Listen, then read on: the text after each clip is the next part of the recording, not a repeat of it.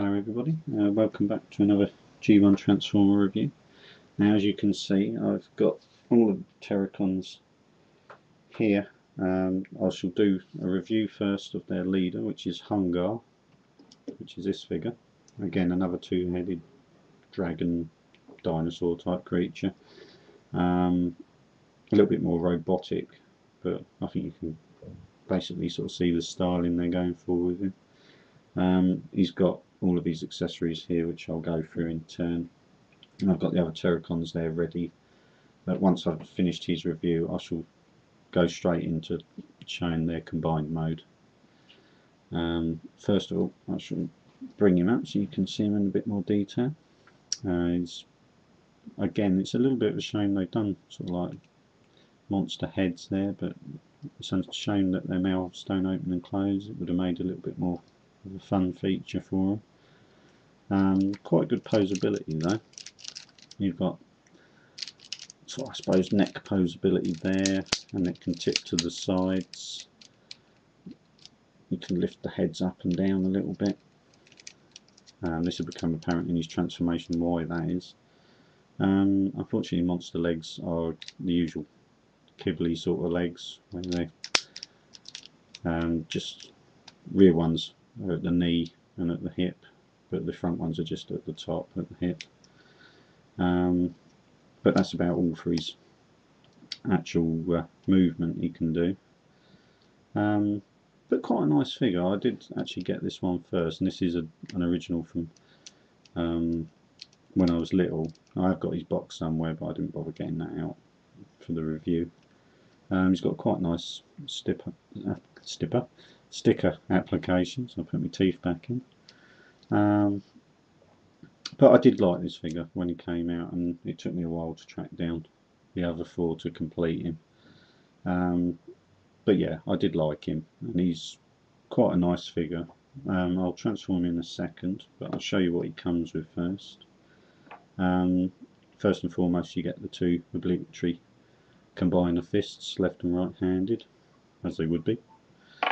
And you get the left and right handed feet for the combining mode, um, a chest piece for the combiner mode but it also doubles up as a shield and I'll go into that once transforming.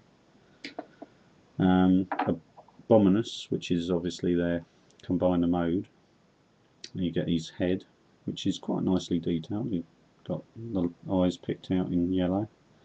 It's quite a good combiner head, a little bit like Bruticus. And his blaster which is the same for his own mode and the combiner mode. But it's quite a good sort of reasonably detailed blaster for the G1 line. There's even a little bit of detail in there just see if I can pick that out for you. Inside the groove which is quite nice. Um, as for his transformation. Shall get on with that. Um, first and foremost you take the monster neck sort of heads and necks straighten them up and pull them down to there. Straighten it right out on both of them. Now flip the monster faces forward and that becomes his legs which actually are quite nice sort of legs. So you've got some knee movement you've got uh, hip movement and you can actually go out to the side as well so it's a reasonably good G1 sort of leg movement in this figure, um, which was unusual at the time. With the front monster legs, I usually fold them down and they swivel to the back to go onto his back. And then dealing with the back legs, you bring them round, bring the lower part round to the front and flip his toe up. And then you've got a little catch to get with your nail on the back there to bring his fists round and they clip round to the front like that. And just do the other one. They're a bit stiff to get out of there. But uh, quite good again so you've got shoulder movement on a nice ratchet and click and you've got elbow movement as well and then as to the last of his sort of part of his transformation. You take the tail, flip it to the back, which reveals his head, which you just need to spin round. You do have to spin it round to, for it to go into the tail. And that's his transformation done. Put obviously his weapon in his fist.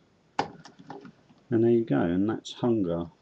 And I think that's a really good G1 figure. Bit kibbly on the back, but not horrendous.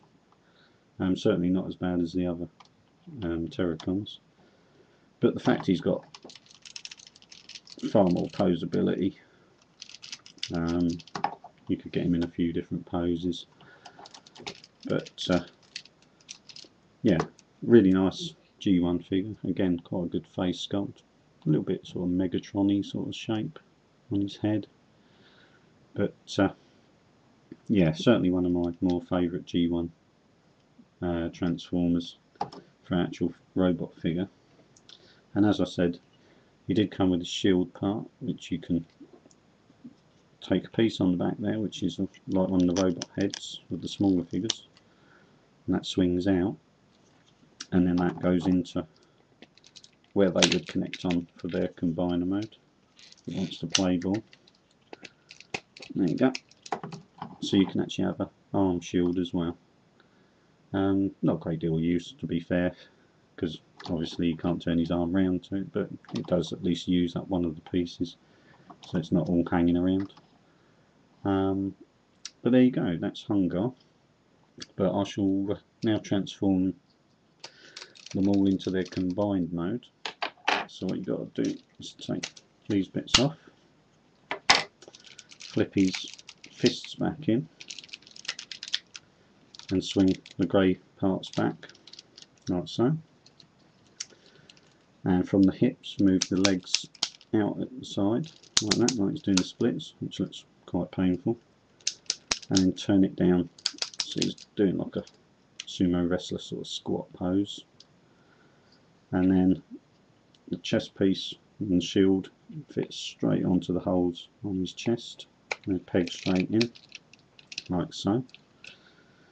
And then of course you just fit the head straight onto his robot head and that just sort of fits on snugly. So that's his basic body sorted out. You then get let's start with Rippersnapper. You take his robot head flip it forward um, and really basically his transformation from robot mode is basically his arm mode. You then just need to plug the fist in the, the hole in the bottom of his feet and then he pegs hopefully without mucking around too much that's it straight in on the side. Uh, we then need Blot to form the other arm. And again he's pretty much from his robot mode ready. We just need to swing his monster arms back round out of the way. Flip his robot head back.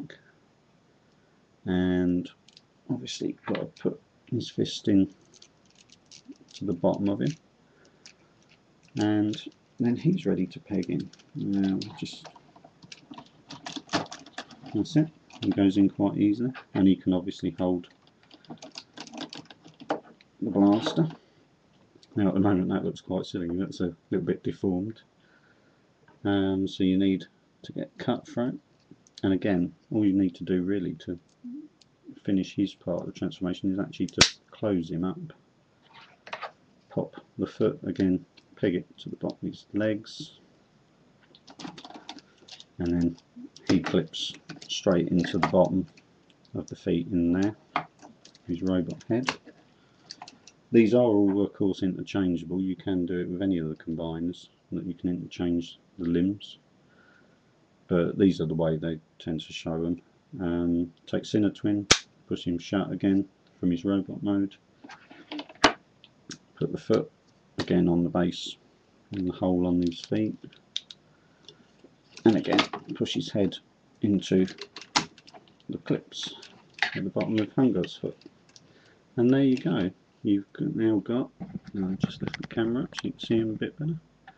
You've now got Abominus which I believe is one of the better in of the transformer combiners in their combined mode.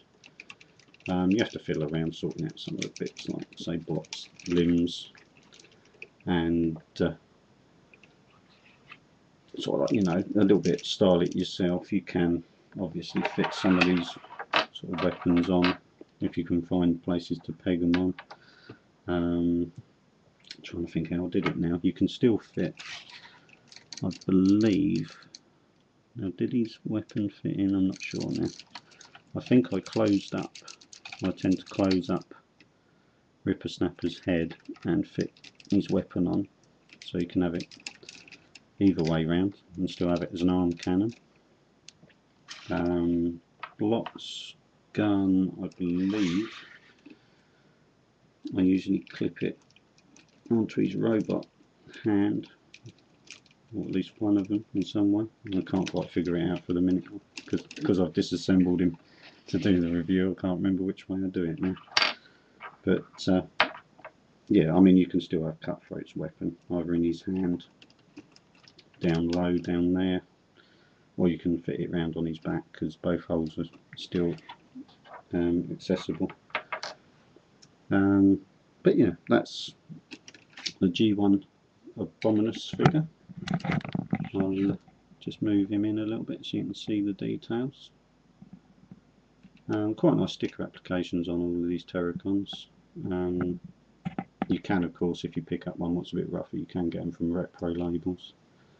But uh, it's always nice to get original ones and sort of if they're in nice condition which I always try and sort of find if I'm getting any newer ones. A little bit kibbly on the back but not actually as bad as the individuals are when they're in their own sort of modes because the kibble kind of adds a bit of bulk where you need it on the limbs in this mode.